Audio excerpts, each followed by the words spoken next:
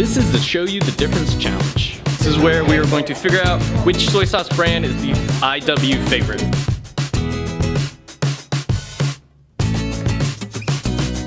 We're gonna be doing that by having a blind taste test.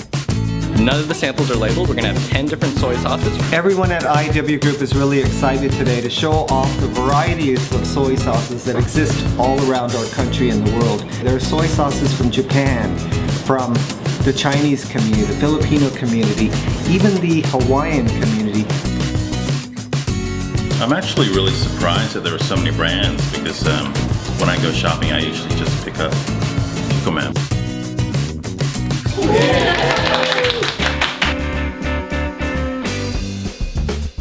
Uh, as a Japanese American, I'm kind of rooting for the Japanese soy sauce brands. I'm familiar with Aloha Shoyu, but Kikkoman happens to be my favorite.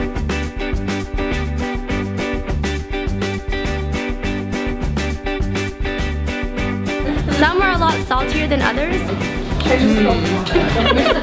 Uh, this is the one that we use at home. After everyone has tasted everything, we're going to rank them on our card, one, two, and three. We'll tally up the votes again, and then we'll know who the IW favorite is. In third place, we have I. Low sodium soy sauce. Yes. Collecting the silver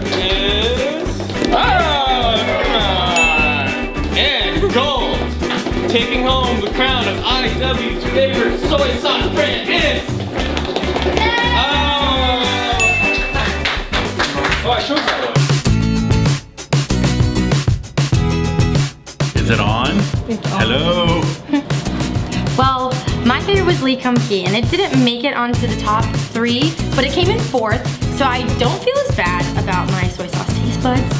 Very, very excited at the results from this. They're all Japanese brands. I was really surprised that a favorite of mine was a soy sauce that I've never tried, which is this Aloha one. So I picked uh, Aloha as my first, uh, the Trader Joe's is my second, and Kroger as my third. I'm really excited that Kroger did well. It didn't place, but it came in sixth. Even though this one came in first place, it's also the most expensive by a long shot. Very impressive the way Kikkoman uh, did at the price point. Uh, came in second place, so very, very excited about that. The Yamasa is the one I brought from home. I'm really sad about that because the Kikkoman was my number one, so I have to reconsider what I'm eating at home. Uh, Trader Joe's is actually made in Japan, so that's cool. But the Kroger, I don't know.